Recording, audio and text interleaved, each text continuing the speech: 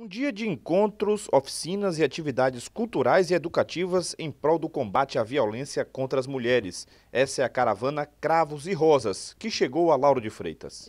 Essa caravana para o município, ela chega num momento muito importante de fortalecimento da rede.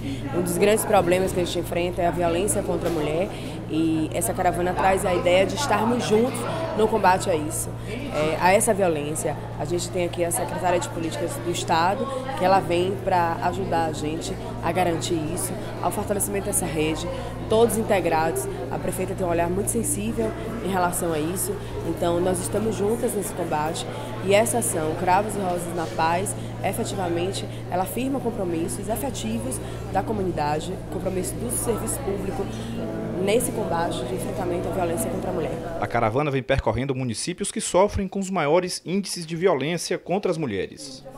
Então essa é uma campanha que exatamente para o enfrentamento da violência contra as mulheres, todas as mulheres, inclusive todos os seus ciclos é, de idade e que representa muito para nós, porque os, os, altos índices de violência contra as mulheres aqui no estado da Bahia são é, muito preocupantes. Né? E o governador do estado está muito preocupado e destinando toda a prioridade para enfrentar esse problema que tem afetado não só as mulheres é, com a morte delas, né, o feminicídio que a Bahia está acima da média nacional, mas como também a, a, parte de agressão a mulheres, que a Bahia também. A prefeita Moima Gramacho falou sobre a vinda da caravana Lauro de Freitas e sobre a parceria de diversas secretarias do município com a caravana. Olha, nós temos que trabalhar muito a questão da conscientização é, em defesa das mulheres,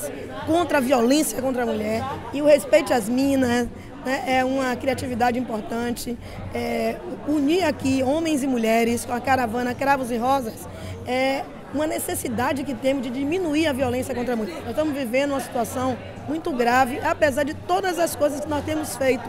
Então nós temos hoje a Lei Maria da Penha, temos a Lei do Feminicídio, temos várias movimentações, mas mesmo assim nós ainda enfrentamos uma grave é, violência contra a mulher nós precisamos ampliar mais ainda essa nossa força, essa nossa luta. E, portanto, é importante essa ação integrada, Secretaria de Trabalho, Secretaria de Cultura, Secretaria de Educação. Nós temos que começar a modificar a forma de educar já lá na base, já a partir da creche, né? Fazendo com que a igualdade ela já permaneça, se instale e se fortaleça a partir dos miudinhos. E depois fazer uma revisita, né, com a questão de gênero nas universidades e nos diversos espaços.